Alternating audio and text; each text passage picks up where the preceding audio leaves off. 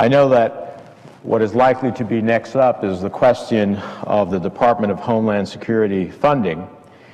And uh, I hope that we can come collectively together to fund the Department of Homeland Security, the department that keeps us safe in an unsafe world, the department that we created after September 11th to bring disparate government agencies all charged with keeping our cities, our ports, our airports, our railways, highways, bridges, and neighborhoods safe from the threat of global terrorism. And I particularly understand that as uh, a member of this body who represents, according to the FBI, the most dangerous uh, two miles in America, the Chemical Coastway Airport, Seaport, along the Hudson waterfront. This is a department that funds emergency management in our communities. It protects the president. It's engaged in all domestic counterterrorism efforts. But what are we doing instead? We're being asked, as one of the new Republican majority's first acts of this Congress, to shut down the Department of Homeland Security. Why? Because some of our friends on the other side are willing to take a gamble and put politics ahead of national security. A thinly veiled political stunt in response to the lawful actions of the President of the United States to do something to fix our broken immigration system. Their message is pretty simple. Repeal the President's lawful executive actions on immigration or shut down the Department of Homeland Security. Now, make no mistake, that is the textbook definition of pure politics. Not caring what its impact might be, not caring who it might hurt, not caring about the families who it will tear apart, and the fact that it will put our nation's security at risk. Now, I have been in this chamber and in the other for over 20 years. And I don't think I have ever seen such a cavalier political recklessness played with our national security. Why? To prevent the president from taking lawful action to help dreamers and immigrant families to come out of the shadows after they pass a criminal background check, register with the government, and get right with the law in exchange for being allowed to temporarily stay in the country and obtain a work permit. The bottom line is clear. Republicans are doing all of this just to prevent a clean Department of Homeland Security funding bill from being sent to the president. A critical funding bill that the president has rightfully promised to veto should it include their anti-immigration amendments, a veto which Congress will not override. It's a fool's political errand that is neither good policy nor particularly humane. Our friends on the other side have accepted these anti-immigrant poison pill amendments knowing full well uh, they will sink the Department of Homeland Security funding bill because they've allowed extremists like Steve King to dictate the party strategy on immigration. Mr. President, let's not continuously go down this dark path of partisanship instead of funding national security programs to keep our families and our communities safe. In my view, it is shamefully and woefully irresponsible for Republicans to hold up funding for operations that protect every American against terrorism in the wake of what happened in France, and against cyber attacks at a time when North Korea has just carried out a dramatic attack against a major American corporation. This is not a time to hold up funding to help the Department of Homeland Security investigate cybercrime that would cripple America's electronic infrastructure, or when the world is a tinderbox of jihadists and would-be homegrown terrorists willing to die for a perceived perversion of Islam. If Republican colleagues want to seriously consider this ill-conceived approach, they will be forcing a shutdown of the Department of Homeland Security, a shutdown of our national security infrastructure to pursue their agenda of mass deportations that will tear families apart, an agenda that embraces a system that doesn't distinguish between deporting a working mother with United States citizen children and a convicted felon. Instead, I urge my friends on the other side to join us and pass a balanced and comprehensive bill. Let's talk, let's sit down again and find common ground as we did in the last Congress, where this Senate came together on a bipartisan basis with over 67 votes to send a bill to the House of Representatives that dealt with our broken immigration system, provided for our national security, promoted our national economy, and at the same time uh, made sure that our legacy and history as a nation of immigrants was preserved. That is the answer. Not holding up national security funding at a critical time. Not turning our backs on the hardworking men and women at the Department of Homeland Security and law enforcement, protecting our borders, our airports, and our coastlines.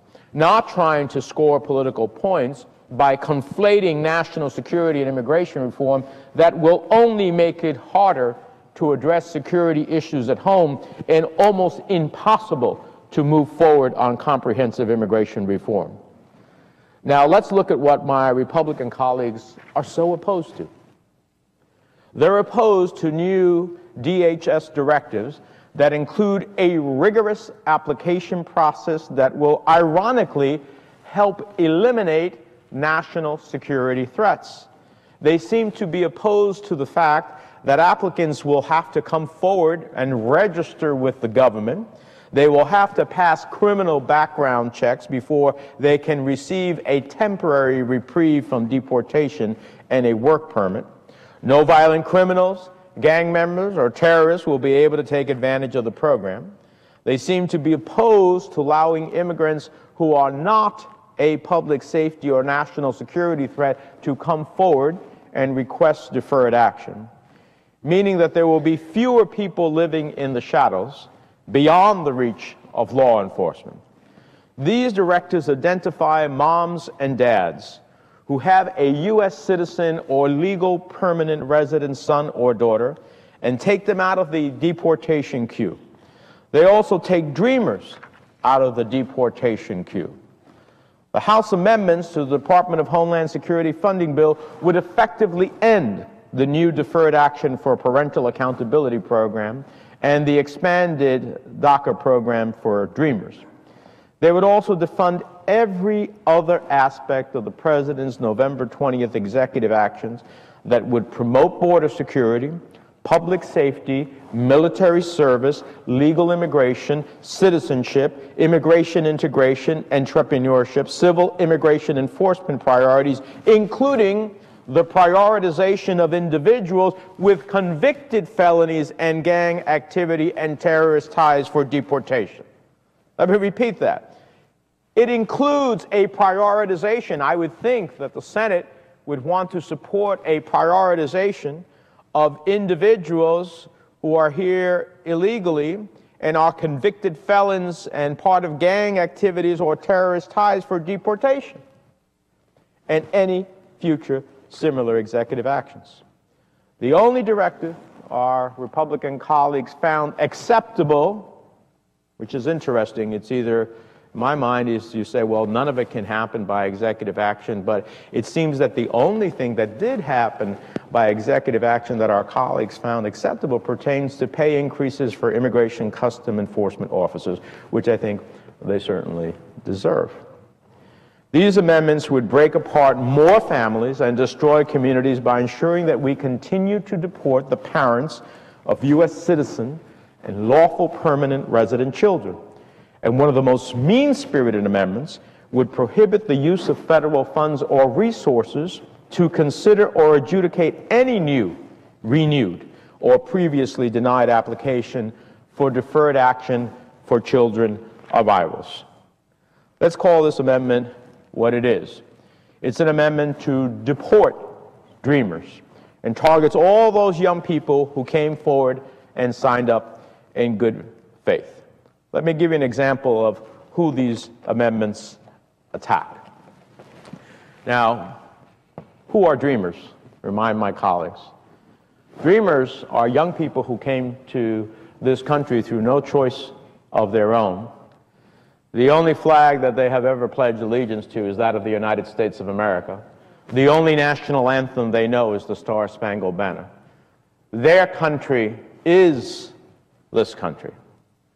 Now, I was fortunate to speak with people like the Morales Cano family two weeks ago in New Jersey, a family of six, including 13 year old United States born Rebecca Morales, whose lives have drastically improved thanks to the program Republicans are hoping to dismantle. If the Republicans are successful, Rebecca would be left alone in the United States without her parents or sisters, an American citizen left alone perhaps in foster care because Republicans don't care about prioritizing the deportation of convicted criminals over her mom, dad, and sisters. The story of the Morales Cano family is a clear example of thousands of deep rooted families who have waited too long in the shadows for immigration reform. Three years ago, after attending a deferred action for children workshop my office organized in New Jersey, all three of Rebecca's older sisters, Ingrid, Evelyn, and Leslie, were given an opportunity to begin a new chapter of their lives after qualifying for the President's 2012 Deferred Action for Childhood Arrivals program, joining thousands of others who have been granted relief. Today, look what these family, this, this family is doing. Ingrid cares for New Jerseyans' health at her job at the Ocean Medical Center. Evelyn moved to Illinois to attend the West Coast Bible College and Seminary. And Leslie was able to enroll in the Brookdale Community College to pursue her dream of becoming a nurse.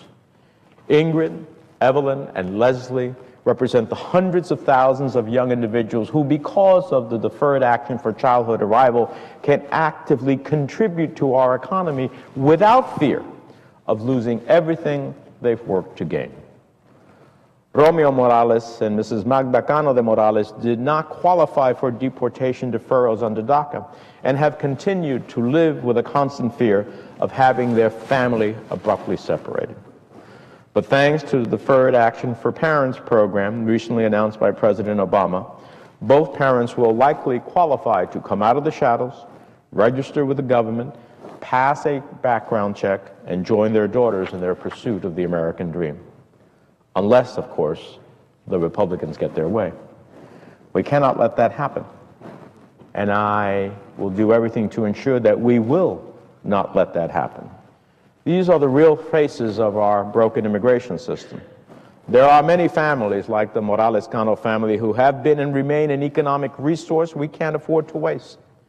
Hardworking families who simply want to be full participants in American life, full contributors to the American economy, and they want to remain united as a family. And we should want them to remain united. I've listened to so many speeches here about the question of family values.